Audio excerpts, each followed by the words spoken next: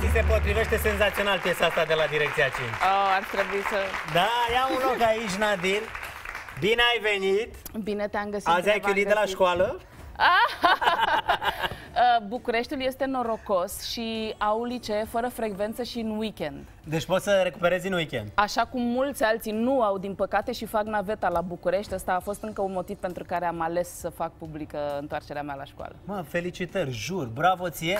Deci tu, practic, n-ai terminat liceul, nu? Am Și, terminat liceul. și acum cum în clasa 10 -a? Păi l-am făcut anul trecut pe a noua. Ai început liceul? Doamne ferește, normal, am luat de la zero. Deci de la zero? Da. Pentru că eu am terminat uh, liceul, am plecat cu biletul de avion în mână, Da. am picat la mate, eram la mate fizică. Am trecut prin liceu ca gâsca prin apă, pentru că munceam. Am investit în carieră. Nu înțelegeam rostul școlii la acea vreme. Uh, Din păcate, pentru mine am investit în uh, situația mea financiară și alte aspecte ale vieții Deci tu, mele. practic, ai picat bacul la, La mate. la mate. Dar nu am mai dat și în vară, pentru că, a doua oară, pentru că am plecat din țară, am stat șapte ani. Ai plecat M-am- în America. În America. M-am reîntors și am vrut să dau la sociologie, că m-am transformat într-o intelectuală.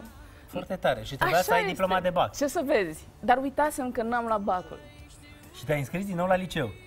Am vrut să mă înscriu la stat, la liceu, dar în zona rurală de unde sunt eu, pentru a fi un exemplu pentru celelalte femei care sunt beneficiare ale asociației mele. Beneficiare din cauza sărăciei care are la bază lipsa educației lor. Și am zis, mă văd femeile cu traista la școală și or să vrea și ele să vină. Termin eu, termină și ele. Și uite Foarte cum schimbăm tare. mentalități. Numai că... Prin propriul exemplu. Corect. Numai că, din păcate, este ilegal să faci a doua oară liceul în România pe banii statului. Am întrebat statul unde să plătesc și cât Și și, statul? ce să vezi, nu există precedent și nu Și deci nu, nu se poate. Deci tu ai vrut să plătești ca să fii din nou Sigur. la un liceu de, de stat. stat. Și nu se poate. Și nu se poate. Nu. Chiar dacă liceul ăsta ai vrut să fie unde? Unde ai vrut să-l faci? În zona rurală, în Unde? județul Dâmbovița. În e. Dâmbovița, da?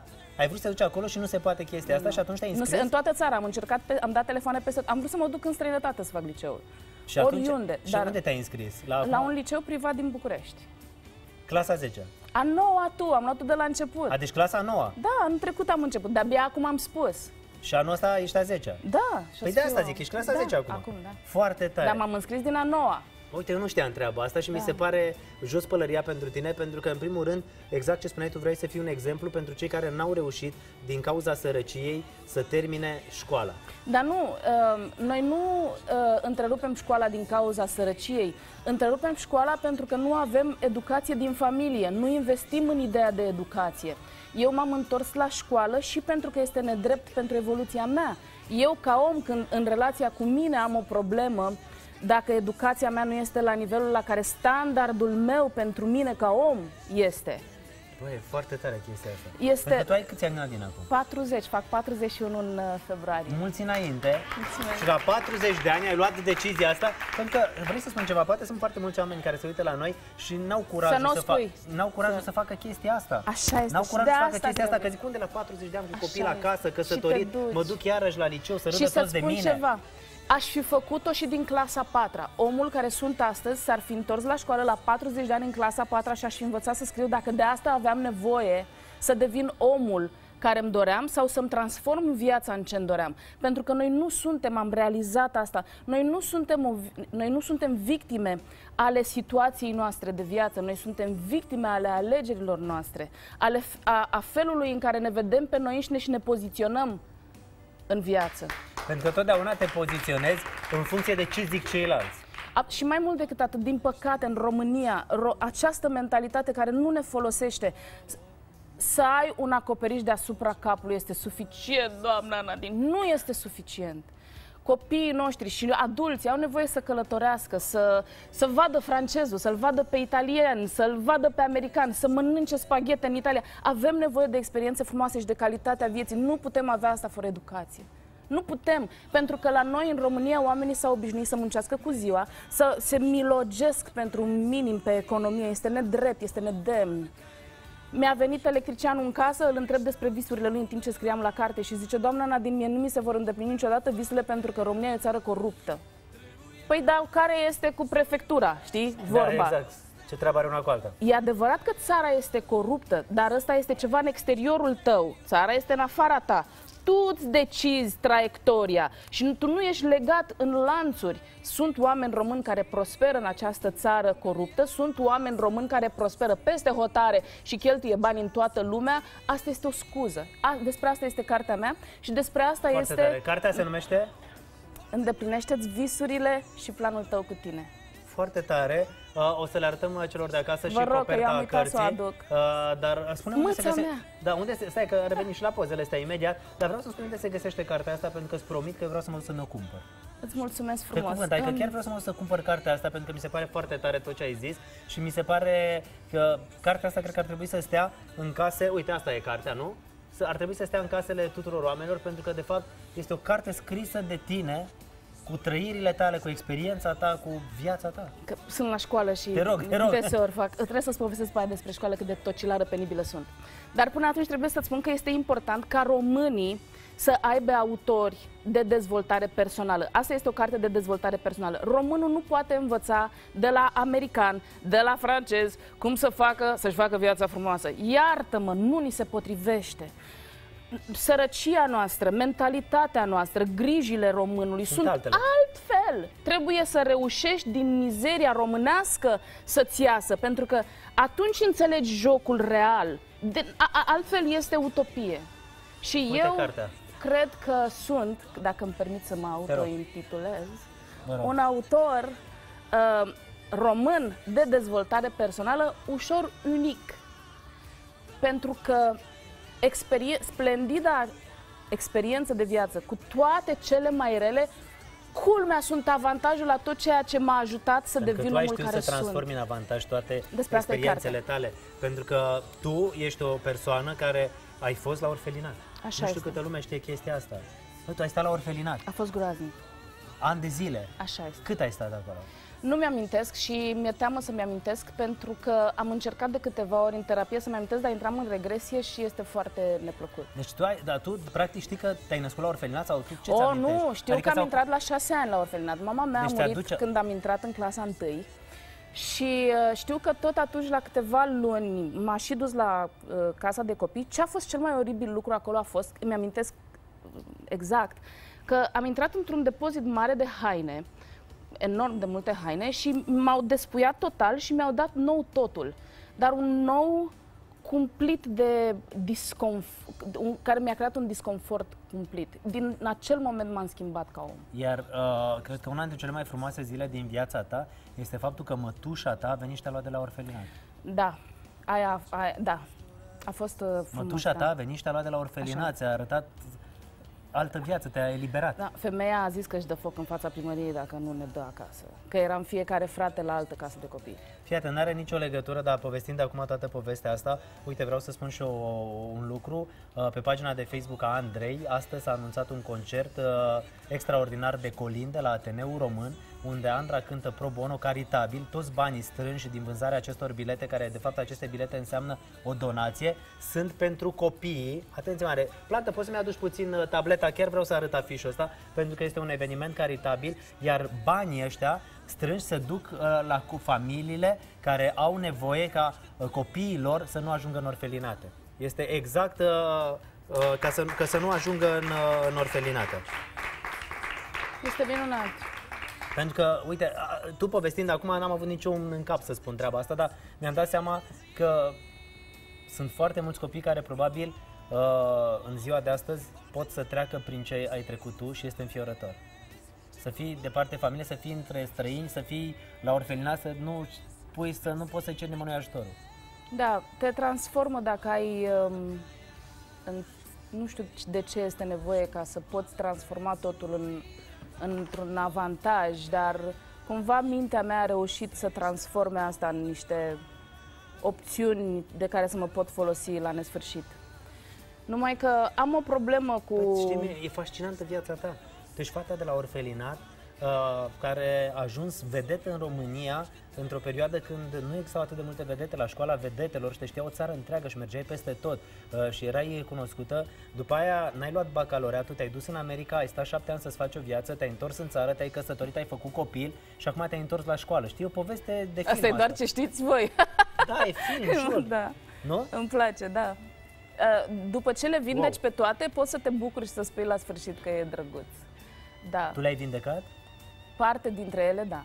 Mare parte dintre ele. Dar spune ce e cu fundația? Am o asociație non-profit care se numește Do Good, Da. adică fă bine, și um, se ocupă pe județul Dâmbovița de a construi uh, o conexiune în mintea elevilor între educație și planuri de viitor.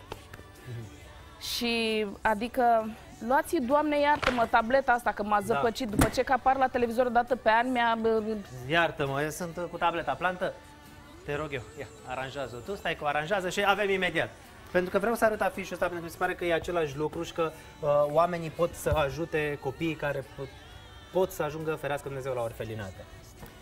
Um, este cumplit că un uh, copil care are părinți este în pericol să ajungă la orfelinat. Pentru că eu mai bine mor sub pod cu copilul decât să pun problema că aș putea să-l dau la orfelinat. Dar asta are legătură cu mentalitatea noastră românească, cum că ajutorul este în afara noastră, să vină cineva să mă ajute. Noi nu avem nevoie de ajutor. Omului s-au dat toate uneltele de care are nevoie ca într-o gaură în pământ dacă se află, să iasă, să strălucească și să schimbe istoria lumii. Ăsta e omul. Este nedemn să, să calci omul pe cap, pe tine însuți, să te uiți în oglindă și să zici, Doamne, ce mă fac și să-ți freci mâinile? 80 de ani dacă ai, n-ai de ce să-ți freci mâinile, să te întrebi. Dar știi că mulți români care poate să uite la noi, fix asta fac. Nu am ce să fac, nu știu ce să încotro să De-aia mă duc. eu țin seminare, de-aia mi-am de făcut unde o ții pagină seminariile de... astea? Zi unde te găsește Um, lumea. Mă găsiți pe Facebook la Nadine Voandru cu numele de fată și fată Voandru se scrie- V-O-I-N-D-R-O-U-H, dar mă găsesc ei dacă vor. Nu vin mulți oameni pentru că eu propun să-ți sufleci mânecile și să-ți transform viața. Eu nu propun să vii să-mi spui despre ce e vorba și eu să-ți dau ce ai nevoie ca tu să-ți faci viața. Are logică ce spun? Da, are foarte mare Ok. logică. Pentru că sunt convins că ar fi mulți oameni care vin la seminarii și zic că păi vreau soluția, știi? Adică dăm soluția, haide, Da. ce fac? Și spun, a, doamna, Alin, păi asta e complicat, îmi spuneți acum că eu trebuie să renunț la... Da, în carte spun, trebuie să iei niște decizii, trebuie să faci niște alegeri și să faci la renunțări. Dar ți În ți-a fost ușor chestia asta întotdeauna? Pentru că am impresia că uh, noua Nadine este de ceva timp așa. Sau tu așa ai fost dintotdeauna, pentru că eu nu te-am descoperit niciodată așa. Um, am Mie mi se o- pare că ești de curând așa, sau nu știu cum să zic, de în ultima perioadă. Tot ceea ce am făcut, faptul că m-ai văzut la școala vedetelor, a fost strategie. Eu am fost cu fața la joc. Adică am înțeles unde sunt, mi-am înțeles realitatea, am scanat-o și am vrut să o schimb. Adică știam că acea realitate pentru mine nu este o opțiune. Ce am nevoie să fac? Care îmi sunt talentele? Ce am eu? Ce pot eu să dau și să primesc înapoi? Apoi pot să cânt, pot să dansez, pot să fac așa și așa. Îmi folosește la ceva? Da, îmi folosește. Apoi asta dau și asta fac. Când nu mi-a mai folosit, am făcut altceva, indiferent de consecințe. Înțelegi? Înțeleg, înțeleg. Eram pe val și am zis mulțumesc frumos, nu mai îmi convine, nu mi se mai potrivește. Simt că mă transform și am nevoie să devin omul care simt că o să devin. Și am devenit omul ăla renunțând la celălalt care m-a făcut cântăreață. În America șapte ani ce ai făcut? A fost cea mai frumoasă perioadă din viața mea. M-am dus la școală. M-am dus la școală și am făcut 5 ani de școală și mi-am dat seama că nu-mi place ce am făcut.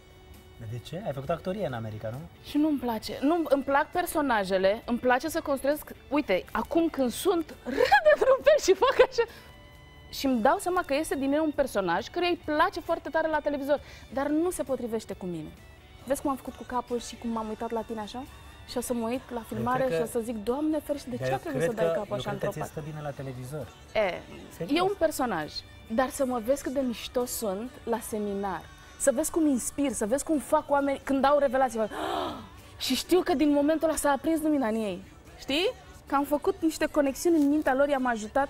Asta este problema persoanelor publice din punctul meu de vedere. Sunt foarte pline de măști. Și oam- oamenii se uită la televizor și spun trei divorțuri și uite cât de impecabilă este și ce bine arată și eu unul singur și sunt dărâmată și nu știu ce. Tu ești de trei ori divorțat? Nu, spun, Că m- acum mai, mai vorbesc bulversat un pic. repede, Vorbesc Da, foarte acum ai vorbit Îmi cer repede, scuze. adevărul e că ai vorbit repede acum, nu? Nu, spuneam, uh, Cătălin, că oamenii, uh, că problema persoanelor publice este că sunt pline de măști. Că omul se uită la televizor, se identifică și nu se identifică pentru, din cauza măștilor.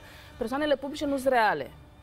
Asta este frumusețea mea, dacă îmi permit să mă laud. Nu știu un pic. dacă toate persoanele publice Cele nu mai sunt reale multe sau... dintre, evident, Da, cele într-adevăr, mai sunt foarte multe, pentru că pe foarte multe le-am avut și eu aici la emisiune. Și ce să crezi? Dar nu ne folosește. într-un fel erau la televizor și într-un fel uh, uh, era, uite, asta este concertul. Andra for uh, Hop se numește, cu orchestra Romanian Sinfonieta, uh, cu Andrei uh, Tudor uh, la Ateneul uh, Român.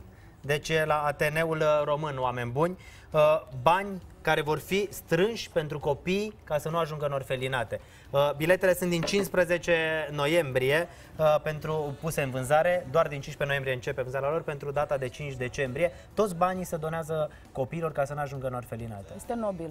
Este prin, uh, prin fundația Hope and Homes uh, for, uh, for Children. Am fost, uh, uh, activez pe zona rurală cu asociația mea. Eu centrez, eu da cu capul, adică eu împachetez, eu bag în mașină, eu mă duc la licee, eu mă întâlnesc cu elevii și uh, fac dream board-uri cu ei, da? Și pe copiii din rural îi încurajez să-și pună viața în imagini și să-și imagineze ce ar putea deveni ei, dar totul în conexiune cu educația. Cei mai mulți îmi dau cartonul gol și îmi spun, doamna, din visurile nu se pot întâmpl- în, îndeplini. Și atunci nu mai scriu deloc, nu? nu mai fac nimic, ga- stau Adică, așa. practic, niște copii care nu mai visează. Nu visează. De la 16 ani la 15, la 17 s-a terminat. Ceea ce e înfiorător. Este îngrozitor, pentru că ei am înțeles realitatea lor. Ziceau, doamna Nadine, dacă mă duc și o ajut pe vecina la Zacuscă, îmi dă 10 lei. Adică tu înțelegi ce informații au înțeles ei despre viață, despre viitorul lor, despre tinerețea lor. I-am zis, ce faci tu pentru a-ți îndeplini visurile? Și zic, ce nimic. Zic, ba da, vii la școală în fiecare zi. Asta e cea mai valoroasă investiție, cea mai mare monedă pe care tu o pui la banca ta, care se înmulțește și într-o zi o să te răsplătească. Pentru că cea mai bună investiție este în Este tine. educație și este educația. Pentru că dacă e întuneric în tine, spui, uite, cum mi-a spus cineva acum, doamna Nadine, nu spălați, că e cu trei cruci. Da. Păi, credem în Dumnezeu, dar e, Dumnezeul ăsta și el s-a mai upgradat, s-a mai, ai zice, și are legătură cu educația. Să știi că ești foarte tare și să știi că cu mare drag te așteptăm oricând aici. Mulțumesc. Îți promit că mă duc să cumpăr cartea, dar mi-ai spus de unde, unde o Îmi găsesc. permit să spun numele editurii? Da, te rog, normal, logic. Editura For You, dragii mei, dar mai mult decât atât vă aștept pe 25 noiembrie la Gaudeamu. Să știți că sunt undeva la etaj, mi-a spus editura unde, dar uit mereu. Hai să facem ceva. La Până orele pe 25 12. noiembrie vreau să mai vii înainte ca să anunțăm. și Încă să o fie dată și- la și- măruță. Da, și să mai fie pentru oameni proaspăt în minte locul unde Abia te duci cu aștept, cartea. îți mulțumesc Pentru că frumos. Și vin și cu carte. Vii și cu cartea, pentru că eu sunt convins că tot ceea ce faci tu și toată informația ta îi ajută pe foarte mulți telespectatori. Așa este. Și noi aici la emisiune avem o emisiune de divertisment, unde râdem, glumim, ne mâncăm, ne hăhăim, ne... e o emisiune de divertisment, da? Pentru că asta facem, dar când putem să le oferim oamenilor și o altfel de informație, cum ai venit tu astăzi și ai spus toate lucrurile acestea, cu mare drag pe Îți canapea sunt vrem să facem recunoscătoare chestia că asta. spui asta. Sincer. Și important este, din punctul meu de Ești vedere și foarte tare. închei, e, indiferent de vârstă, eu mi-am cumpărat două penare în ziua în care m-am înscris la școală. Adică atunci când am- m-am înscris la școală. Eu la 40 de băi, ani m-am dus și îmi mi-am cumpărat cumpăr două rechizite, penare. Știi? Aia, mamă, mi-au rechizite. Mamă, ce tare mi-au, ce stilou vreau. Mamă, poți să-mi iau două penare? Două penare! Fii mi zice, mami, tu de ce ai două penare? Zic, aoleo, ăsta e gelos pe mine. Îmi vrea penarul.